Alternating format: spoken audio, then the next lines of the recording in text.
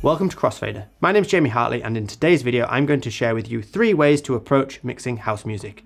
Now you can use any equipment for this tutorial because all we're using are EQs and some phrasing techniques. If you enjoy one of these techniques then please make sure to comment which was your favourite below at the end of the video. Also, make sure to check out our house mixing course at the end if you enjoy tips and tricks like this where there are over 60 more lessons just like this one. One of the most common techniques used by house DJs is the seamless blend. So I've got two tracks here. Now these two tracks I must note work in key with one another and that's one of the first things to check is do they work in key.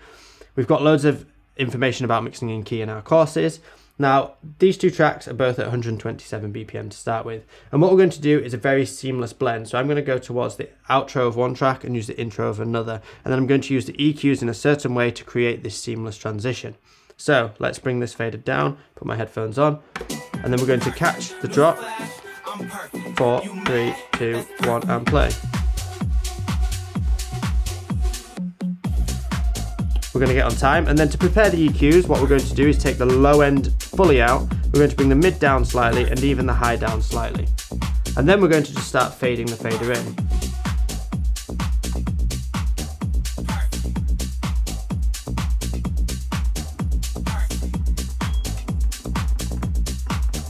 Once the fade is in, we're going to work from the top down and slowly start swapping the highs.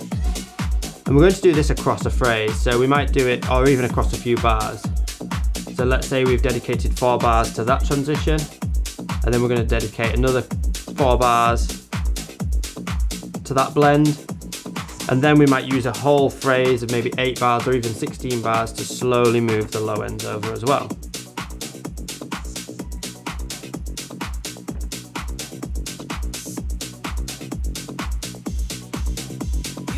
And we made the transition for that next phrase change. And then we just fade and blend that fader out and you can see we've mirrored the EQs at this position so we've kind of finished how we started but on the opposite side.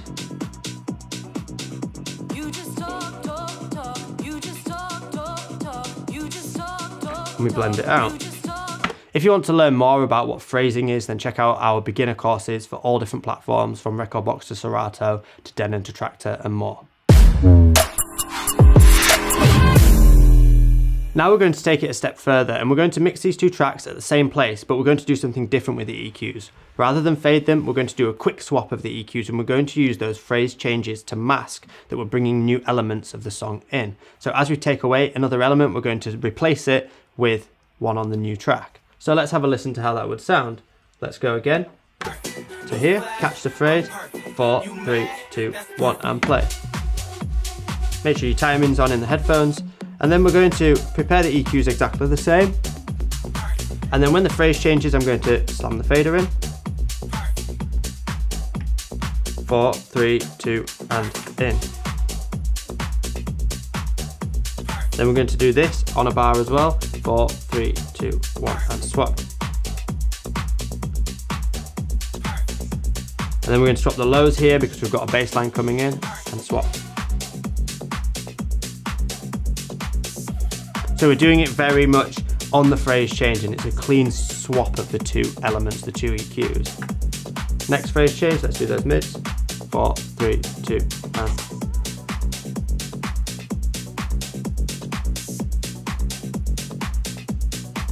And then bringing the fader out, we're going to do exactly the same. It's just a sh sharp removal of the track.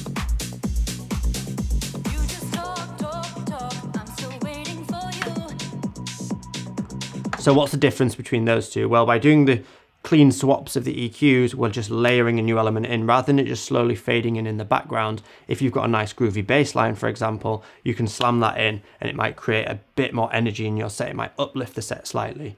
You can obviously use these in tandem, so you could do some mixes more in the seamless way with the blended EQs and some mixes with the clean swaps of the EQs. For this last technique, we're moving away from using just the intro and the outro, and we're going to start layering two tracks on top of each other. It's important that they work in key with one another, so this sounds good. So there's a bit of preparation that goes into this beyond just waiting for the outro and pressing play. So what I've done is I've set up a hot cue, which is a point I can jump to and play from. on this vocal breakdown. And you'll see it's the phrase change where the breakdown happens. There. So we've got that vocal breakdown and what I want to do is layer the vocal over some of the instrumental on the opposite side.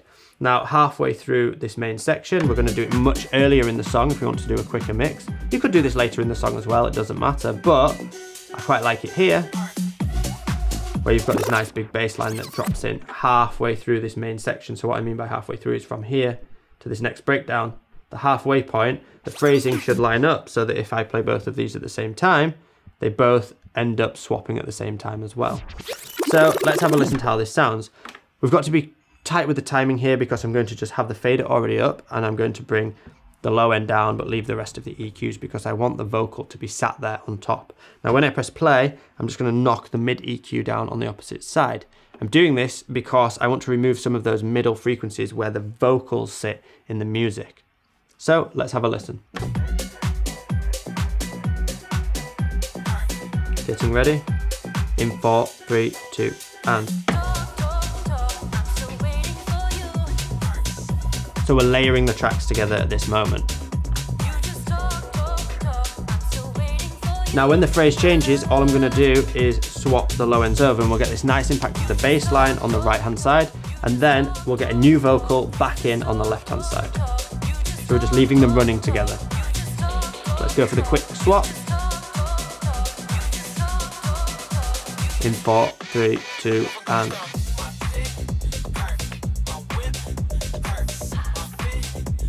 And then I'm just to fade it down a little bit so it's more in the background.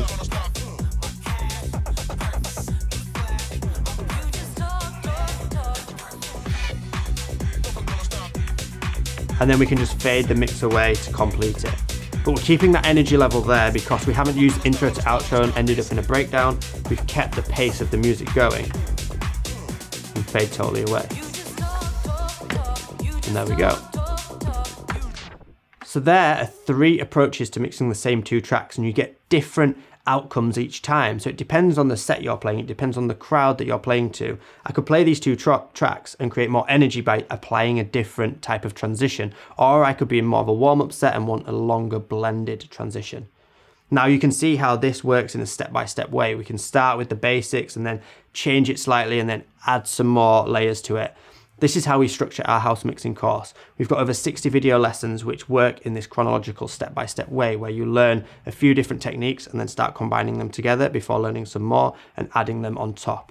If you want to check out the course, please make sure to click the link and also remember to comment below which one of these three were your favorite mixing technique or which one you didn't know before that you're going to start applying in your sets.